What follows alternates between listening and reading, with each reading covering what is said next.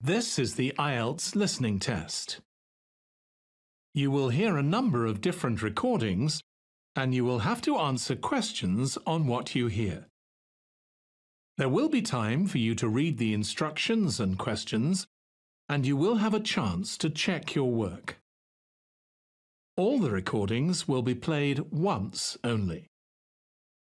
The test is in four parts. At the end of the test, you will be given 10 minutes to transfer your answers to the answer sheet. Now turn to part 1.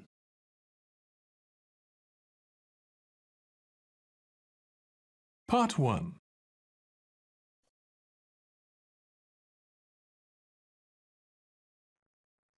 You will hear a woman phoning a hotel about holding a party there.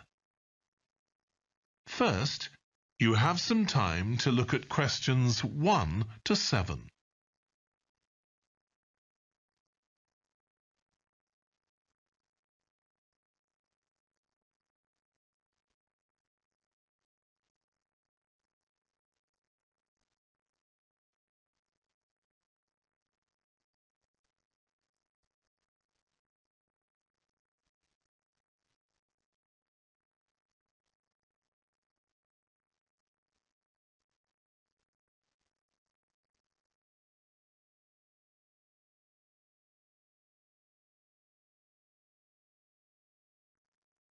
Now we shall begin. You should answer the questions as you listen because you will not hear the recording a second time. Listen carefully and answer questions 1 to 7. Good morning, Clare House Hotel. Andrew speaking. I'm the events manager. Good morning, Andrew. My name's Samantha. I'm arranging a party for my parents' 50th wedding anniversary, and I'm ringing to ask about hiring a room sometime next September. Also, my parents and several of the guests will need accommodation. OK. I'm sure we can help you with that. Will you be having a sit-down meal or a buffet? Probably a sit-down. And do you know how many people there'll be? Around 80, I think. Well, we have two rooms that can hold that number. One is the Adelphi room. That can seat 85 or hold over a 100 if people are standing for a buffet. Right. If you have live music, there's room for four or five musicians in the gallery overlooking the room. Our guests usually appreciate the fact that the music can be loud enough for dancing, but not too loud for conversation. Yes, I really don't like it when you can't talk. Exactly. Now, the Adelphi room is at the back of the hotel, and there are French windows leading out onto the terrace. This has a beautiful display of pots of roses at that time of the year. Which direction does it face? Southwest. So that side of the hotel gets the sun in the afternoon and early evening. Very nice. From the terrace, you can see the area of trees within the grounds of the hotel. Or you can stroll through there to the river. That's on the far side, so it isn't visible from the hotel. OK. Then another option is the Carlton Room. This is a bit bigger. It can hold up to 110 people. And it has the advantage of a stage, which is useful if you have any entertainment, or indeed a small band can fit onto it. Hmm. And can you go outside from the room? No. The Carlton Room is on the first floor. But on one side, the windows look out onto the lake, Lovely. I think either of those rooms would be suitable. Can I tell you about some of the options we offer in addition? Please do. As well as a meal, you can have an MC, a master of ceremonies, who'll be with you throughout the party. What exactly is the MC's function? I suppose they make a speech during the meal if we need one, do they? That's right. All our MCs are trained as public speakers, so they can easily get people's attention. Many guests are glad to have someone who can make themselves heard above the chatter. And they're also your support. If anything goes wrong, the MC will deal with it, so you can relax. Great. I'll need to ask you about food, but something else that's important is accommodation. You obviously have rooms in the hotel, but do you also have any other accommodation? Like cabins, for example? Yes, there are five in the grounds, all self-contained. They each sleep two to four people and have their own living room, bathroom and small kitchen. That sounds perfect for what we'll need. Before you hear the rest of the conversation, you have some time to look at questions 8 to 10.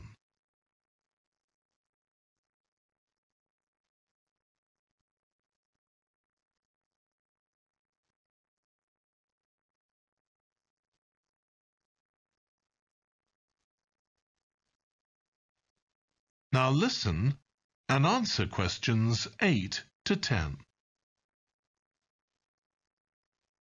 Now, you have various facilities, don't you? Are they all included in the price of hiring the room? The pool, for instance? Normally you'd be able to use it, but it'll be closed throughout September for refurbishment, I'm afraid.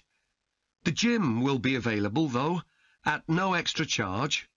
That's open all day from six in the morning until midnight. Right. And the tennis courts, but there is a small additional payment for those. We have four courts, and it's worth booking in advance, if you possibly can, as there can be quite a long waiting list for them. Right. Now, could we discuss the food? This would be dinner around seven o'clock,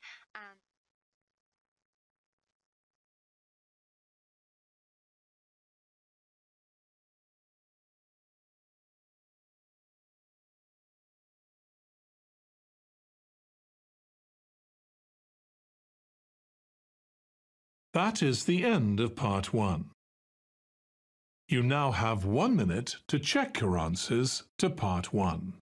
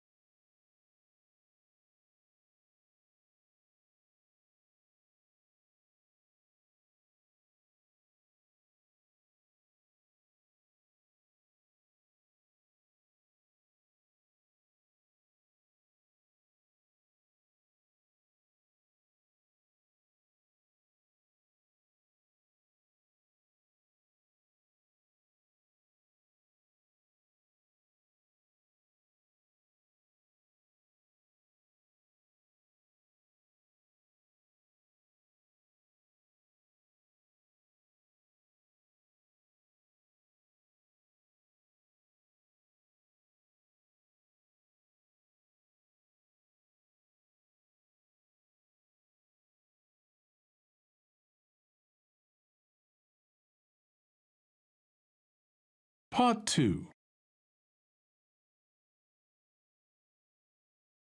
You will hear part of a local radio program in which the head of the Park Art Center is interviewed about events that are going to be held at the center.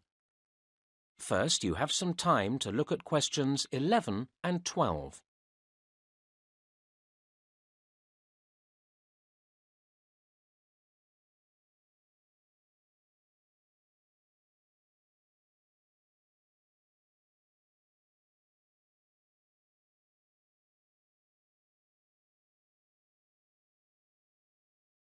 Now listen to the first part of the talk and answer questions 11 and 12. And next on City Life this week, we have with us in the studio Harvey Bowles, head of the Park Arts Centre. He's here to tell us about forthcoming events at the centre. Harvey, welcome. Hello, thank you. So, what can we look forward to first at the Park Centre? We've got a very exciting programme lined up for you. The next event will start on the 18th of February and run till the 24th. Times for the event twice each day at 2:30 and 7:30 p.m. There'll be a folk music concert and uh, we're sure this is going to be very popular. A range of excellent musicians are coming, uh, some playing for the first time in this country.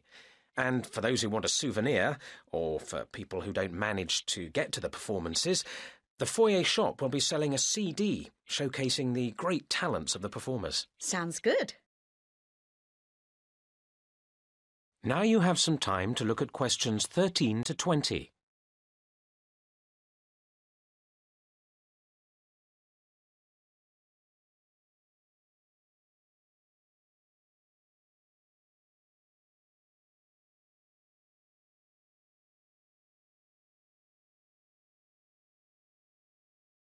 Now listen to the next part of the talk and answer questions 13 to 20.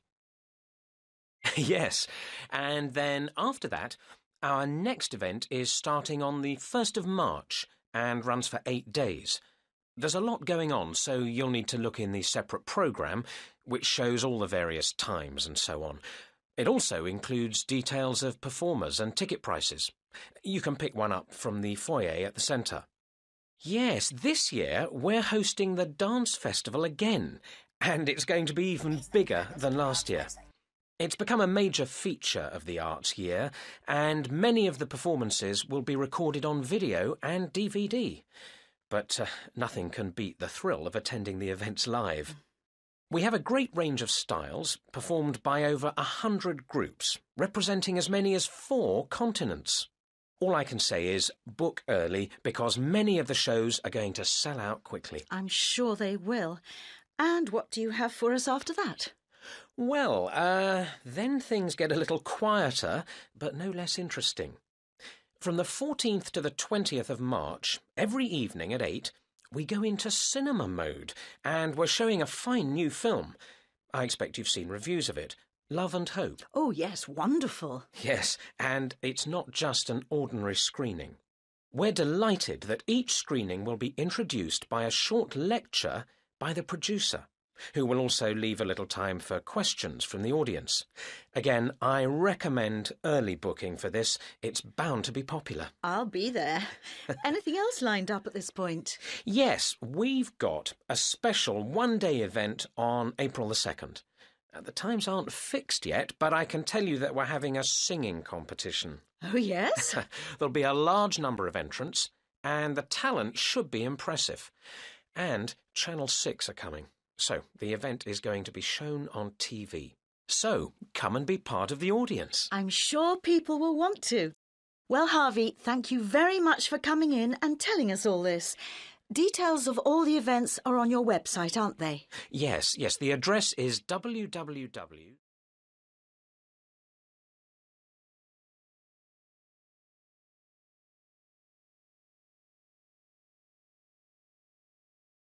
That is the end of part two. You now have 30 seconds to check your answers to part two.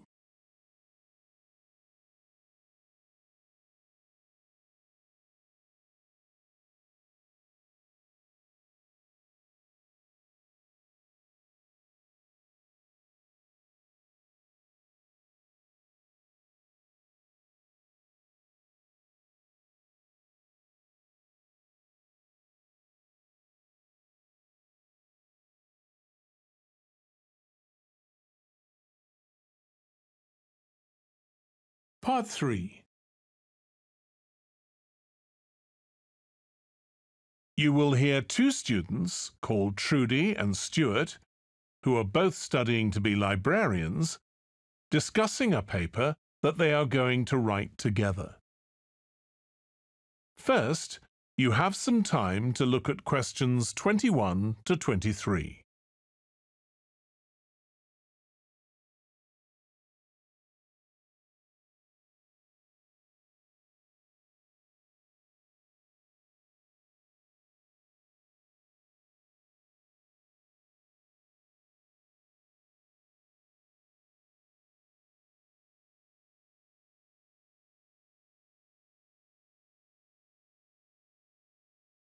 Now listen carefully and answer questions 21 to 23. OK, Stuart. We need to start planning our paper on public libraries. Have you thought of an angle yet? Well, there's so much we could look into. How libraries have changed over the centuries, for instance, or how different countries organise them. What do you think, Trudy?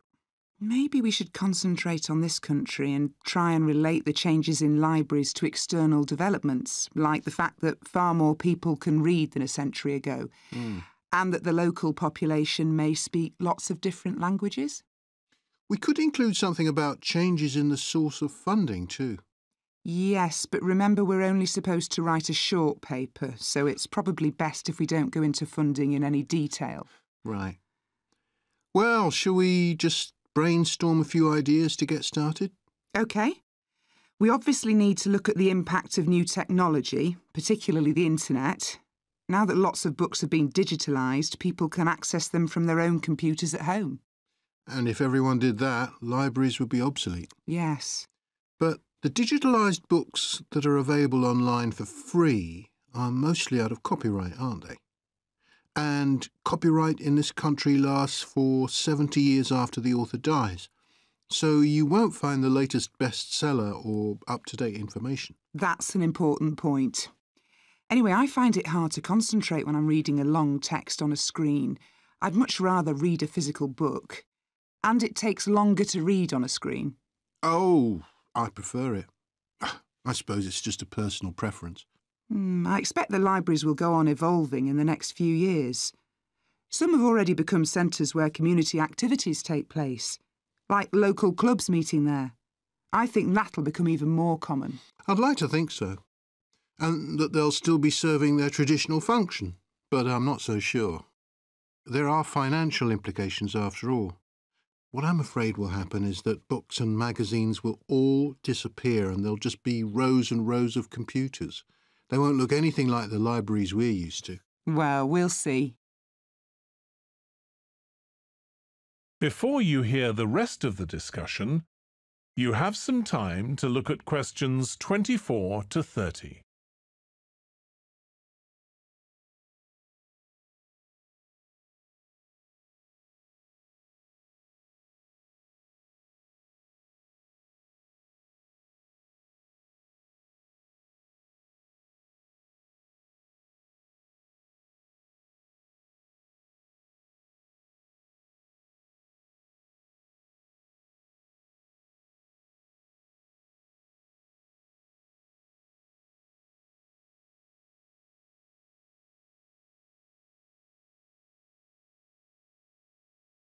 Now listen and answer questions 24 to 30.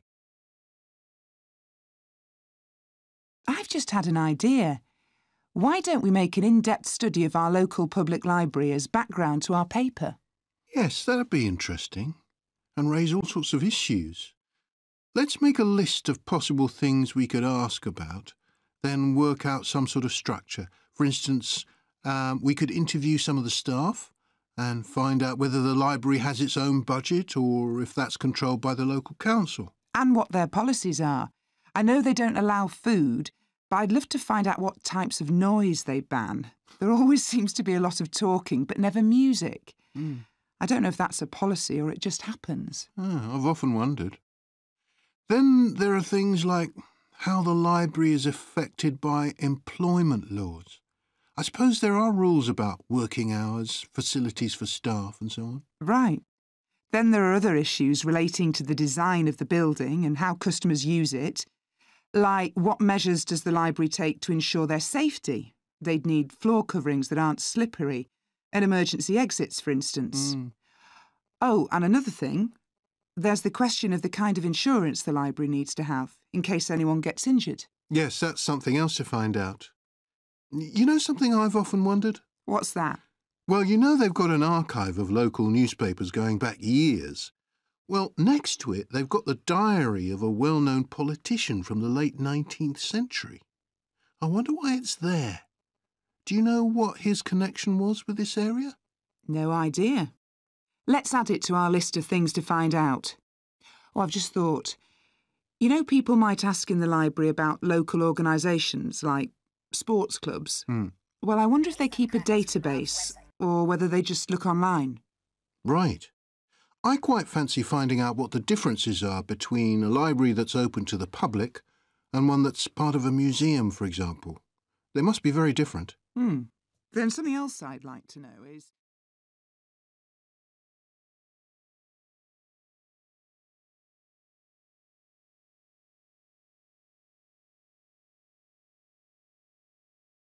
That is the end of part three. You now have 30 seconds to check your answers to part three.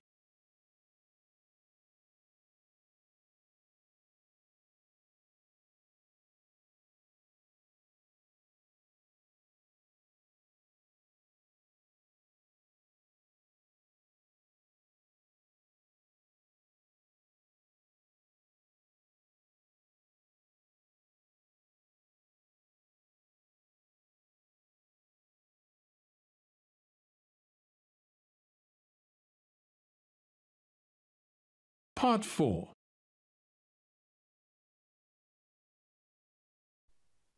You will hear a student presenting his findings on a university research project. First, you have some time to look at questions 31 to 40.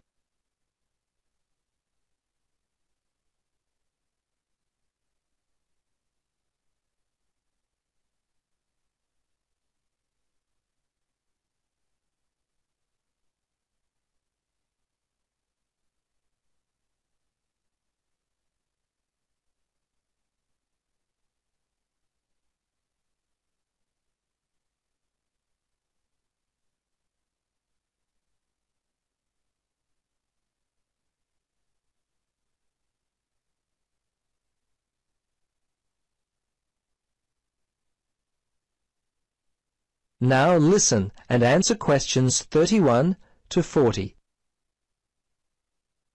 Welcome and thank you for coming. My name is Jeff Robinson and it's my pleasure to speak to you today. For many years now, I've had a deep interest in the perception the people of our city have had of those who are responsible for law enforcement, in particular the police. My interest began as a boy when my father worked as a policeman for the Croydon Borough. So my boyhood background is part of the reason I chose this area of study. I guess I can blame my father for being a policeman. But primarily, I'd like to think that my study would help to improve and maintain the relationship between our police and the communities in which they perform their tasks.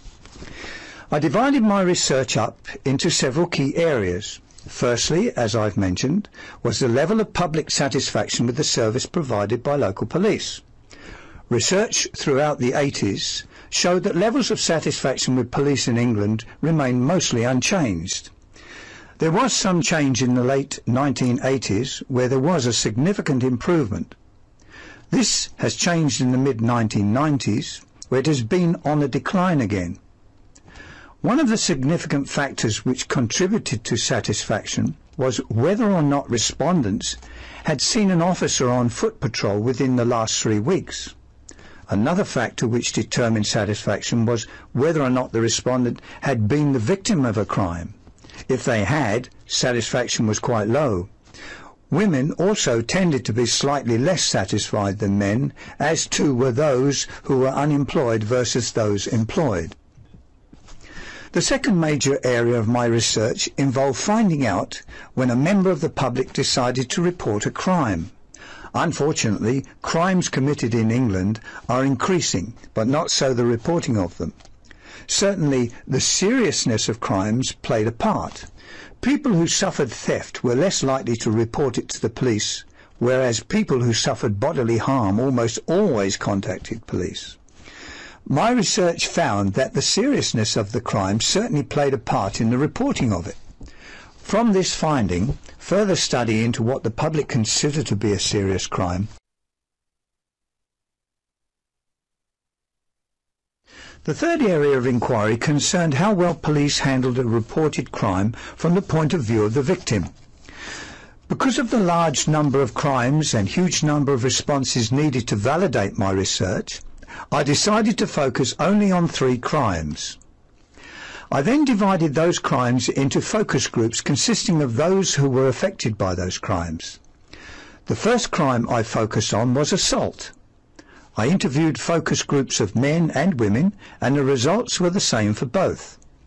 Those who had been victims of this particular crime were happy overall with the way in which police handled the situation. Theft was divided into household and business crimes with the results showing the former group were not very happy with the level of service and the latter very happy. From these results, I can only gather that business is given a priority when it comes to the reporting of theft. The last category of crime was vandalism or property damage. This particular category revealed that both groups of respondents, city dwellers and the people living in the country, were very happy with the degree of service rendered by police.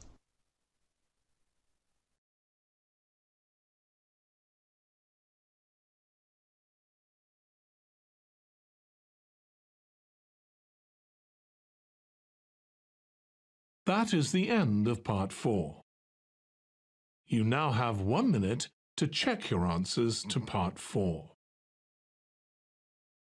That is the end of the listening test.